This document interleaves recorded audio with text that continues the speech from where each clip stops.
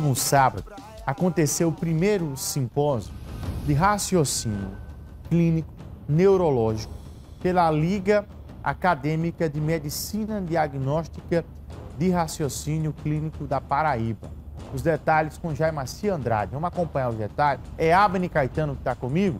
Pois não, Abne Caetano. Aconteceu no último sábado o primeiro simpósio Raciocínio Clínico Neurológico no auditório do SESC em Cabo Branco onde estudantes da saúde se reuniram para discutir os avanços e desafios no raciocínio clínico neurológico. O evento contou com neurologistas, neurocirurgiões, palestrantes e estudantes da área médica para troca de conhecimentos e experiências. O principal objetivo desse simpósio é gerar um conhecimento técnico e científico para a comunidade de acadêmicos de medicina aqui da Paraíba. Então, assim, a gente não se restringe a uma única universidade, a gente pega toda a comunidade acadêmica para debater um tema muito importante que é o raciocínio clínico neurológico com diversos especialistas e patrocinadores. Então, assim, o foco do evento é o raciocínio clínico, é o conhecimento técnico.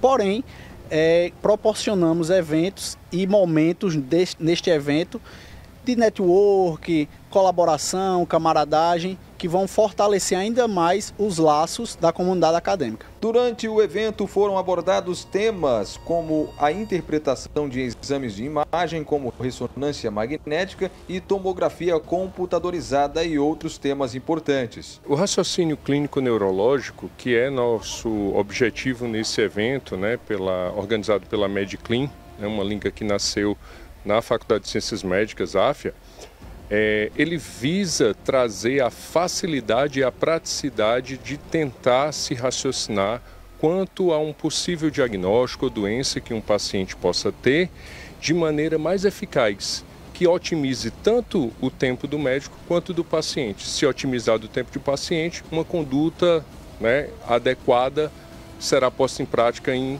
menor tempo. Palestrantes destacaram a complexidade crescente dos casos neurológicos e a necessidade de uma abordagem multidisciplinar para garantir o melhor tratamento aos pacientes. A estudante Maria Vitória destacou a importância de ter participado do evento. Foi importante em todos os aspectos. Profissionais muito renomados, como o Dr. Fernando, Dr. Yuri Bandeira, Dr. Rodrigo Marmo, é, outros profissionais de outras áreas também, como marketing e empreendedorismo, que é muito bom na integralidade da formação médica. Então foi um evento incrível e só tenho elogios. E vai servir muito para o meu futuro, comitantemente para o futuro de outras pessoas que vão passar pela minha carreira médica, né? O simpósio também abordou questões éticas e humanísticas, ressaltando a importância da comunicação entre médico e paciente.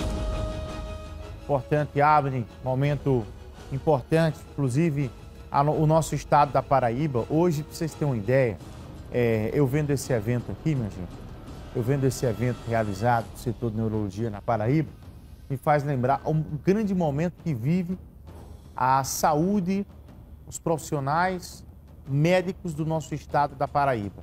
A Paraíba hoje é referência para o Brasil no que diz respeito à questão da capacidade de profissionais médicos. Nós temos aqui na Paraíba um time de médicos, inclusive nas extremidades. De um lado, jovens que estão ali é, nesse momento se destacando como profissionais gabaritados no Brasil inteiro, somada à experiência de outros médicos já experientes e renomados.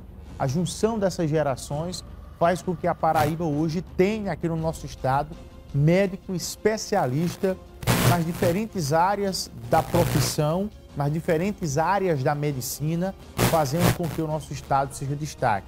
Inclusive, este evento aqui é um, em meio a tantos outros, em meio a, aos tantos eventos que são é, organizados, que são realizados aqui na Paraíba.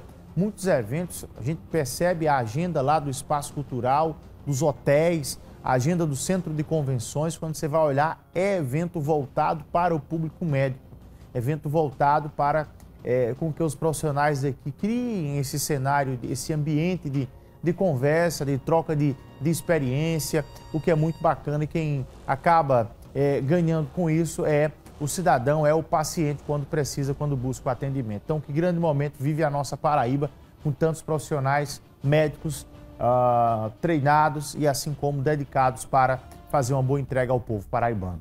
Gente, um